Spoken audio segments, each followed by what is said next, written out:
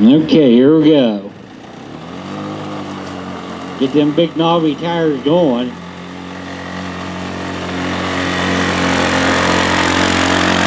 Run, run, run!